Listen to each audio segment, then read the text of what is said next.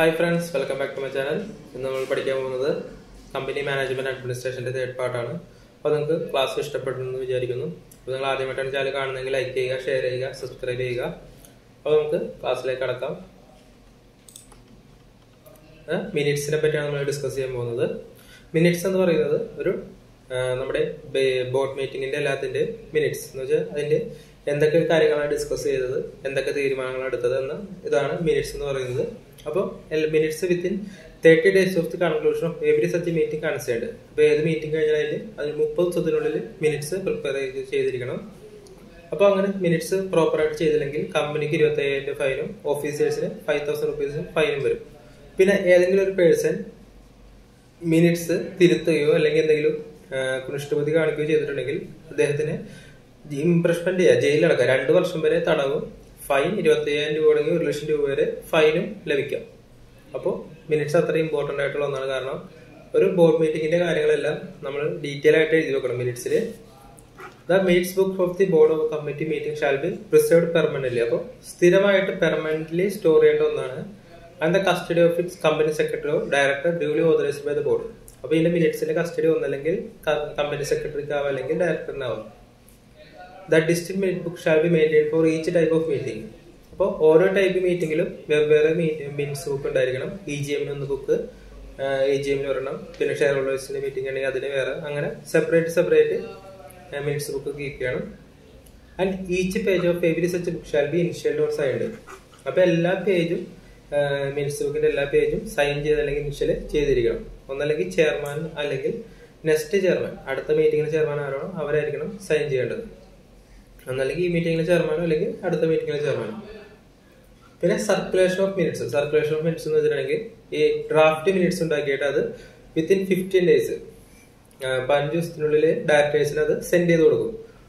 അതിനെയാണ് draft circulation of minutes എന്ന് പറയുന്നത്. അത് കിട്ടിക്കഴിഞ്ഞ് സെവൻ ഡേയ്സിനുള്ളിൽ അത് റിട്ടേൺ ചെയ്യണം. എന്തെങ്കിലും അവരെ കമ്മ്യൂണിക്കേറ്റ് ചെയ്യണം അല്ലെങ്കിൽ അവരെ കമൻസ് വഴി ഡയറക്ടേഴ്സ് അത് റിട്ടേൺ ചെയ്യണം. അതിനെയാണ് മിനിറ്റ്സ് ബൈ സർക്കുലേഷൻ എന്ന് പറയുന്നത്. ഇപ്പൊ minutes of the meeting of the board shall be signed and dated by chairman of the meeting or by the chairman of the next meeting. A copy of signed minutes certified by company secretary where there is no company secretary by any director authorized by the board shall be circulated to all directors within 50 days from this signed. അപ്പോൾ ഒരു minutes sign ചെയ്ത് കഴിഞ്ഞിട്ടുണ്ടെങ്കിൽ അത് fifteen ഡേയ്സിനുള്ളിൽ അത് എല്ലാ മെമ്പേഴ്സിനും അത് circulate ചെയ്യണം അടുത്ത ഇമ്പോർട്ടന്റ് ഒന്നാണ് A G M annual general meeting അപ്പൊ annual general meeting should be held once in every year അപ്പൊ എല്ലാ വർഷവും കൂടേണ്ട ഒന്നാണ് A G M the first annual general meeting of the company should be held within nine months from the close of the first financial year അപ്പോൾ ഒരു company form ചെയ്തിട്ട് അതിന്റെ first annual general meeting financial close ചെയ്ത് തുടങ്ങി within nine മന്ത്സിൽ conduct ചെയ്യണം. പിന്നെ പിന്നീട് വരുന്ന സബ്സിക്വന്റ് എല്ലാ general മീറ്റിംഗും with should be within six months from the closing of the financial year അപ്പോൾ മാർച്ചിലാണ് എല്ലാ ഫിനാൻഷ്യൽ ഇയറും ക്ലോസ് ആവുന്നത്. മാർച്ച് തുടങ്ങി within six month April May June July August September. September മുപ്പതിന് മുമ്പ് എ ജി എം കണ്ടക്ട് ചെയ്തിരിക്കണം. The gap between two A G M should not exceed fifteen month അപ്പോൾ രണ്ട് എ ജി എം തമ്മിലുള്ള gap പതിനഞ്ച് മാസത്തിൽ കൂടാൻ പാടില്ല. പിന്നെ extension of the validity of A G M A G M പിന്നെ ആറ് മാസത്തിനുള്ളിൽ കൂടണമെന്ന് പറഞ്ഞു. അതിന്റെ എക്സ്റ്റൻഷൻ ഒരു മൂന്ന് മാസം വരെ മാക്സിമം എക്സ്റ്റെൻഡ് ചെയ്യാം. അത് സ്പെഷ്യൽ അപ്രൂവൽ വേണം. പക്ഷെ ഫസ്റ്റ് ഏജ് ചെയ്യുന്ന വിത്തിൻ നയൻ മന്ത്സ് തന്നെ കൂടിയിരിക്കണം. അതാണ് എക്സ്റ്റൻഷൻ കേസ് പറയുന്നത്. Every general meeting shall be all during business hours that is between nine A M six P M അപ്പോൾ ഒമ്പത് മണി തുടങ്ങി ആറ് മണിക്ക് ഇടയിലായിരിക്കണം A G M and not a national holiday national holiday ഹോളിഡേയിൽ നടത്താൻ പാടില്ല. സൺഡേ നടത്തുന്നുണ്ടെങ്കിൽ കുഴപ്പമില്ല. അത് time nine A M to six P M ആയിരിക്കും. പണിഷ്മെന്റ് ഇപ്പൊ എ ജി എം ചെയ്യുന്ന എന്തെങ്കിലും പണിഷ്മെന്റ് എടുത്തിട്ടുണ്ടെങ്കിൽ company and officer up to one lakh in case of continuous default five thousand per day അപ്പൊ ഇവിടെ കണ്ടു ലിമിറ്റ് ഇല്ല. അപ്പൊ എ ജി എം എത്ര നാൾ നിങ്ങൾ മാക്സിമം എത്ര വരെ പെനാൽറ്റി വരെ പോവാം. അപ്പൊ എ ജി എം ഒരു കമ്പനിക്ക് അത്രയും ഇമ്പോർട്ടന്റ് ആണ്. കാരണം കണ്ടക്ട് ചെയ്തില്ലെങ്കിൽ കമ്പനിക്ക് ഓഫീസറിനും ഫൈനാണ് up to one lakh continuous failure ആണെങ്കിൽ ഫൈവ് തൗസൻഡ് പെർ ഡേ ആണ്.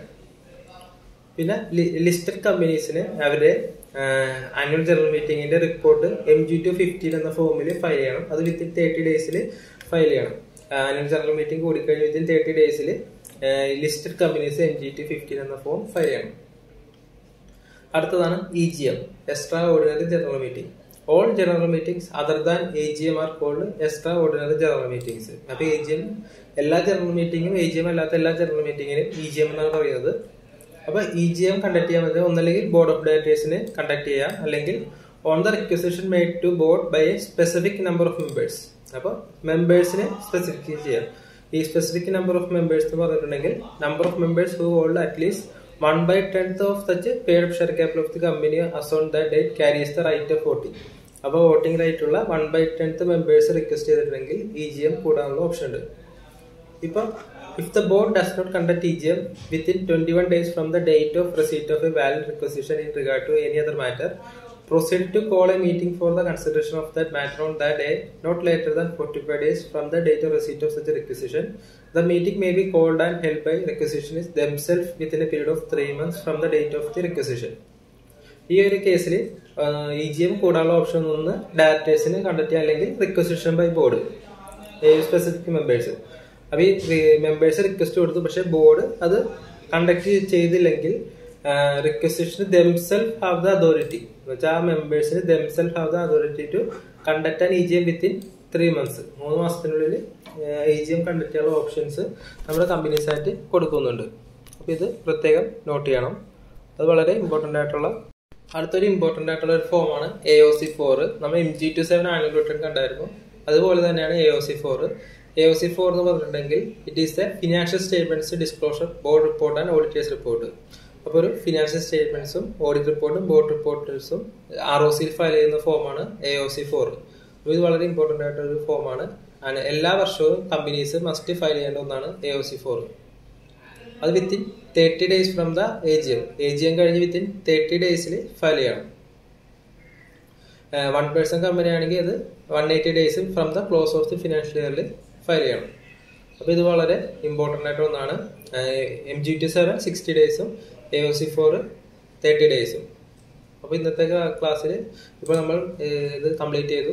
കമ്പനി മാനേജ്മെന്റ് അഡ്മിനിസ്ട്രേഷൻ എന്ന ചാപ്റ്ററിൽ നിന്നുള്ള എല്ലാ ഇമ്പോർട്ടന്റ് ഏരിയാസ് എല്ലാം കവർ ചെയ്തു. മാക്സിമം ഈ ഇത്ര ഏരിയ ഇതിൽ നിന്ന് ചോദിക്കാൻ ചാൻസ് ഉള്ളൂ. അപ്പോൾ നിങ്ങൾ എല്ലാവരും തന്നെ റിവേഴ്സ് ചെയ്യുക. മാക്സിമം മനസ്സിലാക്കി പഠിക്കുക. Thank you for watching my dear friends have a nice day നമുക്ക് നെക്സ്റ്റ് വീഡിയോയിൽ വീണ്ടും കാണാം. Thank you thank you